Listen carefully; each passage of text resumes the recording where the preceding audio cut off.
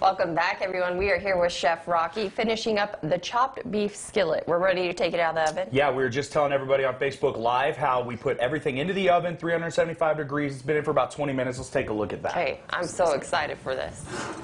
Oh, it, it looks It smells really, really Oh, wow, good too. Look at that, right? Beautiful. So what we want and what we look for in the oven, we know pretty well everything else is going to be cooked. The potatoes, we put those in a bit early, so we know that they're going to be cooked through.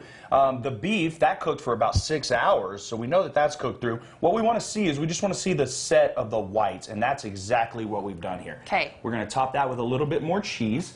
This cheese is just going to naturally kind of melt a little bit. Um, green chili never hurt anyone, No. especially this time of year, right? The Hatch green chili. I won't put it on all of it because you guys here at the station are going to be able to eat it.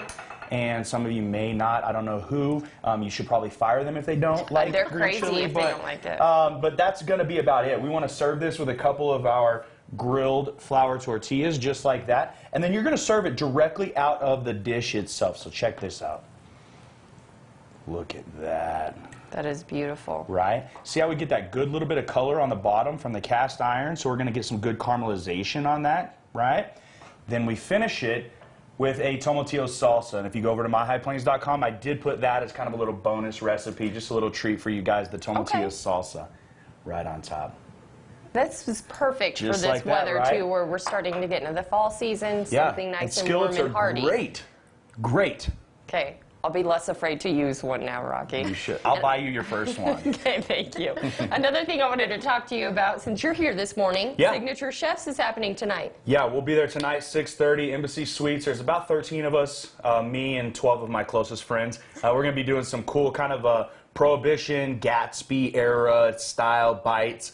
Um, So stop by and just try a little bit of uh, a little bit of cuisine from all over Amarillo. Different walks, different backgrounds. You know, from healthcare to restaurants. It's going to be it's going to be a great time. We're going to have some fun. And it's a good way for people who maybe have never tried out a local chef's food. Yeah. Hopefully they have, but Yeah. it, they can try everyone. And come hungry. What we're doing is small plates, 'Kay. but there's 13 small plates, and we're all doing at least one thing. So you're going to have 13 different bites. I'm doing two different things a smoked salmon and a very classic turtle soup.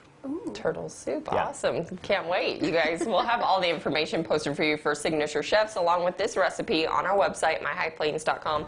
Of course, you guys can always bug Chef Rocky to come cook for you too.